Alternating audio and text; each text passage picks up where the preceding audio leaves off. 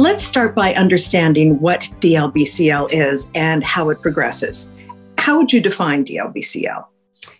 Well, diffuse large B cell lymphoma is uh, is a malignancy of um, a normal counterpart cell called a B cell, um, which is part of our immune system. Its its job is to make antibodies to help protect us from various types of infections. Um, diffuse large B cell lymphoma or DLBCL initiates when normal B cells um, acquire uh, changes in their genetic machinery, like any cancer. Um, and DLBCL is the most common form of non-Hodgkin lymphoma. Uh, we classify it as aggressive as an aggressive lymphoma, which means if left untreated, it, it tends to grow pretty quickly. How is it typically diagnosed? Um, well, it varies, but you know, uh, like any cancer, a diagnosis requires some sort of a biopsy, either a surgical removal of a lymph node um, or a needle biopsy of a lymph node or another structure where the where the tumor seems to be growing. How does somebody know if they have DLBCL? Well, you know, there are certain symptoms that um, are more common amongst folks with DLBCL. Um, and they're not specific to DLBCL, they can be seen in other lymphomas, but they include symptoms like um, fatigue that's unrelenting, um, unintentional weight loss, um, sometimes fevers, typically um, at similar times throughout the, the day, um, drenching night sweats, swollen lymph nodes, and then certainly pain. Um, in any area of the body uh, that does that comes and doesn't go. Those are some of the mm-hmm. general symptoms.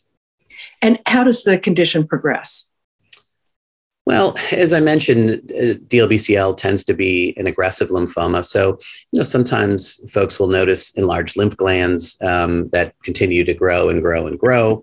Um, sometimes they're painful, sometimes not so much. Um, DLBCL it can really um, grow anywhere. So we think of it as a lymphoma, and so involving lymph nodes, but but DLBCL can can grow in any organ um, even outside of lymph nodes. Um, and so it, it, it, sometimes progresses locally, um, but it also can, can spread and, and start to grow in other areas of the body. Mm-hmm. And how is it staged, Dr. Kline? Well, there, there's a special staging system for all lymphomas um, that is somewhat similar to what folks uh, might think of with, with um, solid tumors like a breast cancer or lung cancer. Um, but in other ways, it's different. Um, the, the staging tools for um, DLBCL are really, um, most importantly, PET scans and CT scans, um, really PET scans, um, and in some uh, cases, bone marrow exams or bone marrow biopsies. the PET scan is a very sensitive scan that uses radioactive glucose to identify very sensitively where in the body lymphoma might be growing, because lymphoma cells really preferentially um, prefer to use glucose as their primary energy source. So they preferentially take up the radioactive glucose that's given through the vein before the PET scan is taken.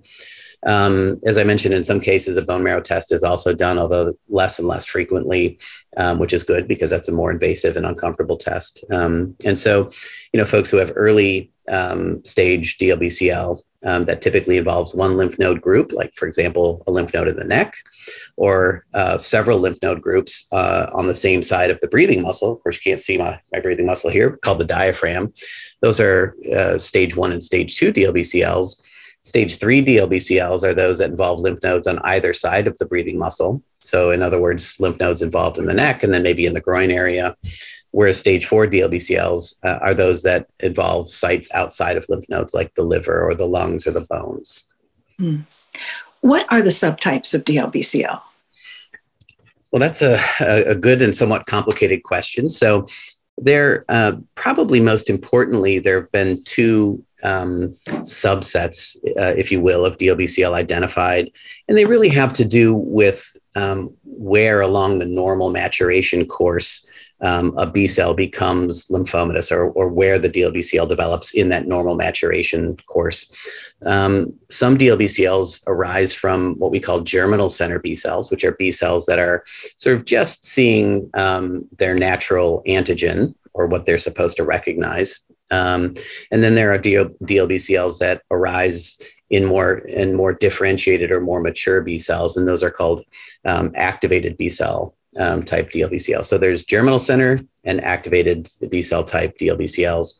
And I, I don't know that that's super important for your listeners to know, but it but it is important because these two subtypes of DLBCL are driven by um, largely separate um, uh, uh, mutations um, or alterations in the DNA. Um, and they also respond differently to um, initial uh, treatment. Um, there are other rare subtypes um, that involve specific mutations in genes like MYC and BCL2, and these are the so called double hit lymphomas. They're officially cl- classified as high grade lymphomas, but they're very similar to DLBCLs. There are other rare subtypes of DLBCL, for example, a type that um, comes on typically in young um, men and women called primary mediastinal B cell lymphoma.